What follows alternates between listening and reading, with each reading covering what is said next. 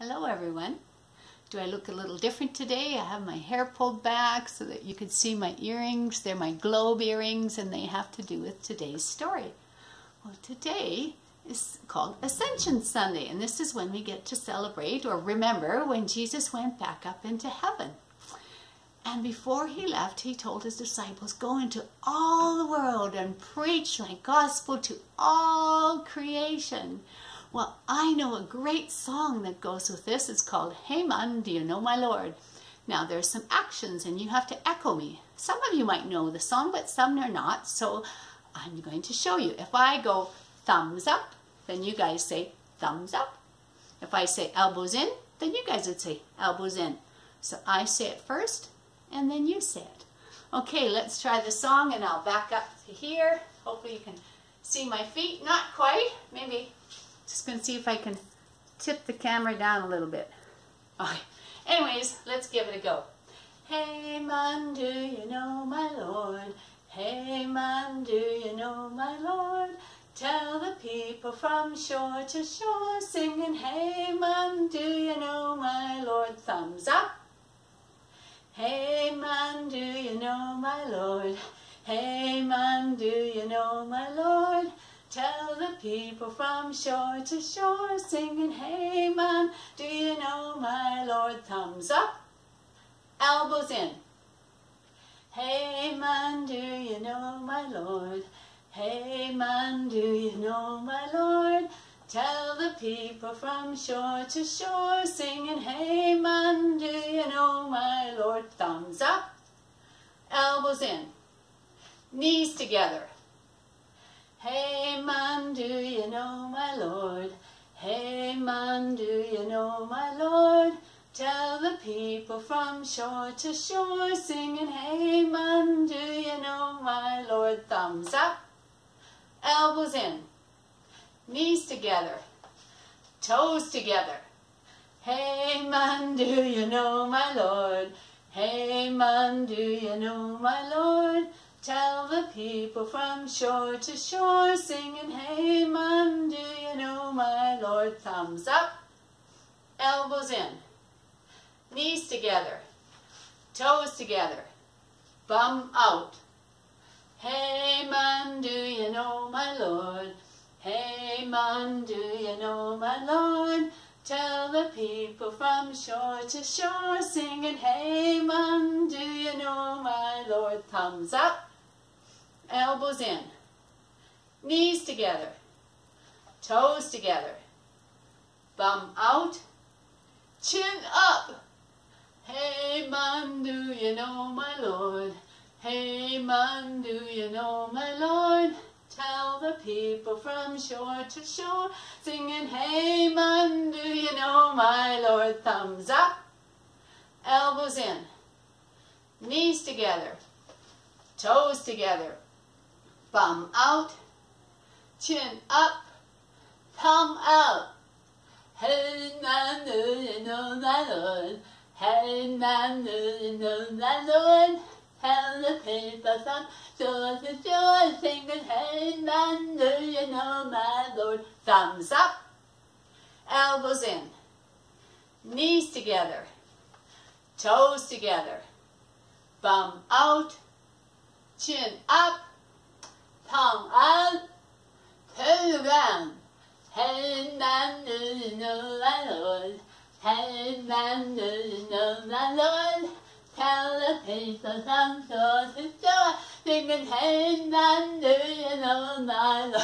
Thumbs up, elbows in, knees together, toes together, bum out, chin up, tongue out, turn around, sit down. okay, while you stay seated, I'm going to tip this camera back up. Now, did you ever have someone leave and it made you feel sad?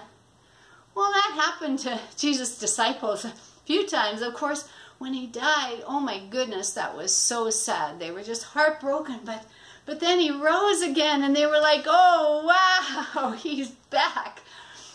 But then 40 days later, he left again and went back to heaven. I wonder how they felt that second time. But you know, Jesus was not meant to be here on this earth, physically living here on this earth with us forever. He was sent here with a job to do. God had a plan right from the beginning, and Jesus fulfilled God's plan. He died to take the punishment for all of our sins so our relationship with God could be restored again. And his job was done. And after he rose, he stayed here on, for, on earth for 40 days, and then he went back up to heaven. But he promised that he would be with us always. And God's plan was not done. Jesus let his disciples know that God was going to be sending them a helper. He was going to be sending them the Holy Spirit. But oh, that's for next week's story. So you'll hear about that next week. In today's story, Jesus gave his disciples and us a job to do. I wonder if you remember what that job was. Well, we can read about it in the Bible. And I'm going to read about it in Matthew and Mark and Luke. Have you ever been somewhere with a bunch of people and they come back and they tell different parts of the same thing that happened? Yeah, because you might be looking at it from here and you might be looking at it from there. And well, the, all these three stories are a little bit different, but they're the same story and they're all true because everyone had a different exciting part to tell about it. So I'm going to read it to you first from Matthew, Matthew 28. Then the eleven disciples went to Galilee, to the mountain where Jesus had told them to go. And Jesus came to them and said, All authority in heaven and on earth has been given to me. Therefore, go and make disciples of all nations, baptizing them in the name of the Father, and of the Son, and of the Holy Spirit, and teaching them to obey everything I have commanded you. And surely I am with you always even to the very end of the age. So that was in Matthew. Let's see what Mark had to say. Mark chapter 16. Jesus said to them, Go into all the world and preach the gospel to all creation. There's that job we were given to do. And after the Lord had spoken to them, he was taken up into heaven and he sat at the right hand of God. Then the disciples went out and preached everywhere. Sounds like they were doing the job they were told to do. And now from Luke, Luke chapter 24. When he had led them out to the vicinity of Bethany, that he, meaning Jesus, when Jesus had led them out to the vicinity of Bethany, he lifted up his hands and he blessed them. And while he was blessing them, he left them and was taken up to heaven. Then they worshipped him and returned to Jerusalem with great joy. And they stayed continually at the temple praising God. So, did you hear those three lessons?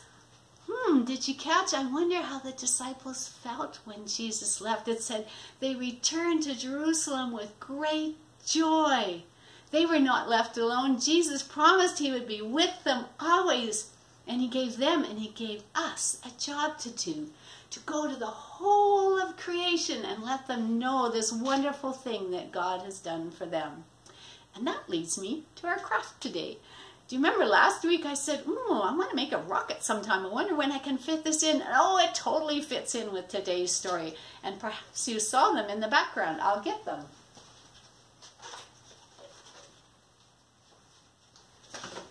Well, I thought since we're supposed to go to all creation, what a better way to do that than on a rocket. We could really go far if we were on a rocket. So I had lots of fun building four different kinds of rockets and I'm wondering what kind of rocket you're going to build.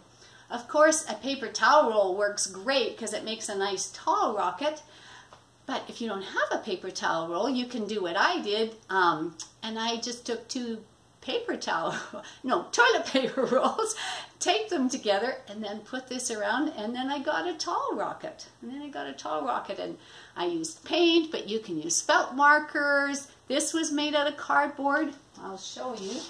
You just take a piece of cardboard and cut out a circle, and then you find the middle point and make a slit up, and then you just curl it around, and you make a nice pointy top. You can paint it or you can use felts or crayons and color it. Or you know what? You might have some Kleenex box that is a really pretty Kleenex box and you can just cut out the Kleenex box. I have one like that and I'll show you in a minute. You can add bling to it. Of course you want to add a cross because that's what we're doing. We're going to spread the gospel. I have a little guy on there. Probably not a good idea to write on the outside of the rocket, but anyways. and then for these things, again, just another piece of cardboard. I hope you're saving your cardboard in your recycle bins and I cut out a bottom shape and then I traced it and I cut it out the top. And works really cool is you make a slit there and a slit there and you just slide it in. And then I bent it together a little bit. And then I slit there and slit there and then I bent it together a little bit. And I got this cool rocket shooting off. Yeah, I'll show you some of my other ones. This guy is fun because this is what I had made a couple weeks ago. Remember when we were doing the painting with toilet paper rolls? I thought, whoa, well that kind of makes a cool rocket. And then I gave him a stumpy nose with an egg carton. Made and then I thought, I'm going to make him look kind of funny. Added eyes and a mouth. Of course, I put on a cross with ribbon. And then with paper, I made the flames shooting out. After I kind of thought, I think it looks more like a fish than a rocket. But it was fun. And look at that. Whew, that's a lot of fun to play with this one. And here's when I made it so I had a smaller circle so the top and the was smaller. And then I took macaroni and I made a cross with macaroni. I put pom-poms around. I had a little bit of foam, but this can be used with paper too, or ribbon. Ribbon would be really nice. But this has some little sprinkles on it. I don't know if you can see it. No, I guess you can't. But from here, it's got sparkles on it. So it's neat when it's flashing about, I can see it sparkling at me. So this was a really fun one. And see, it's just made with a paper towel roll, so you can make short ones. Then I decided to make another tall one. Again, I taped two paper towel rolls together because I didn't have a, no, taped two toilet paper rolls together because I didn't have a paper towel roll. Anyways, and then I had a pretty Kleenex box, so I made the top, so then I didn't have to paint it or color it and I made the bottom as well. Now this bottom is a little different than the other bottom because see these pointy things? It's kind of a little unstable. So I made the bottom this way this time and again made the slits and then just slid it in. Yeah, and it stands like that. I drew across, I put stars all over this one. And can you see what paper I used? I love using music. I thought, if I'm going to go into the world, I'm going to sing the gospel to everybody. So I used music paper, and a little pipe cleaner, but there's no end to how you can decorate your rocket. I bet it's going to look awesome. I bet it's going to look awesome. So what I would like you to do is have fun making your rockets and then bring them along next Sunday because we're going to be doing a song with these rockets next Sunday. So have fun making your rocket and bring it along to next Sunday. Now before I go, I want to give you a couple little reminders.